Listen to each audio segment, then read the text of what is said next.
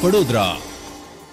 શહેર જિલ્લામાં ધમધમતા દેશી દારૂ તેમજ વિદેશી શરાબના અડ્ડાઓ બંધ કરવા કરણી સેના દ્વારા આવેદનપત્ર પાઠવી રજૂઆત કરવામાં આવી હતી તેમણે જણાવ્યું હતું કે છેલ્લા ઘણા સમયથી વડોદરા શહેરના જુદા જુદા વિસ્તારોમાં દેશી તેમજ વિદેશી દારૂનું વેચાણ ખુલ્લેઆમ થઈ રહ્યું છે તેવી સ્થિતિ ઊભી થઈ રહી છે. અવારનવાર જાગૃત નાગરિકો દ્વારા વીડિયો પણ જાહેર કરવામાં આવ્યા હતા, જેમાં માલુમ પડે છે કે દારૂનું વેચાણ પૂરજોશમાં કાયદાના ભય વિના થઈ રહ્યું છે. તેમજ નામચીન બુટલેગરો દ્વારા વડોદરામાં દારૂનો ફૂલ સપ્લાય થઈ રહ્યો હોય, ત્યારે જ વડોદરા શહેરમાં દારૂ મળી શકે છે. એ ચોક્કસ બાબત છે.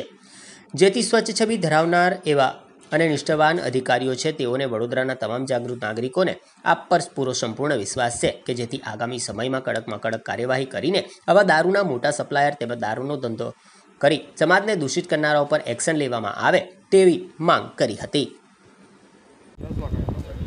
વડોદરા શહેરમાં ચાલતા કેટલી જગ્યાએ દારૂના ધંધા જે સમાજ માટે તેમજ વડોદરા શહેરના યુવાનો માટે દૂષણ સમાન છે.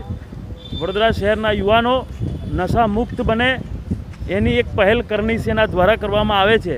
જેના અનુસંધાને આજે પોલીસ કમિશનર સાહેબશ્રીને અમે આવેદનપત્ર આપવા માટે આવ્યા છીએ કે આપ એક નીડર, નિષ્ઠાવાન અધિકારીશ્રી છો અને અત્યારે હાલમાં જે વડોદરા શહેરમાં જે દારૂના ધંધા ચાલી રહ્યા છે, એ વિશે અમે આપને કંઈક કહેવા માગીએ છીએ. અને આજે એમને રૂબરૂ મળીને અમે આવેદન કરીશું કે અત્યારે જે પણ દારૂના ધંધા જે ગોરખ ધંધા ચાલી રહ્યા છે, સંપૂર્ણપણે બંધ કરવામાં આવે. મુખ્ય કારણ એક જ છે કે જ્યારે વડોદરા સંસ્કારી નગરી છે, ગુજરાત રાજ્યમાં, ગાંધીનું ગુજરાત અને ગાંધીના ગુજરાતમાં જો દારૂ ખુલ્લેઆમ મળતો હોય તો આ શરમજનક છે. સાહેબને અમારી વિનંતી સહ અરજ પણ હશે કે તાત્કાલિક ધોરણે આ તમામ ધંધા બંધ કરવામાં આવે. અને બીજી મુખ્ય વાત છે કે એક મોટા સપ્લાયર છે.